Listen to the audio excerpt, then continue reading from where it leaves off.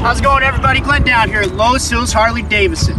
You know, in 2016, Harley Davidson came out with the S models. We had the Fat Boy, the Lowrider, and the Slim. All came from the factory with a 110 cubic inch engine, which was plenty of power for a lot of people, and they loved it.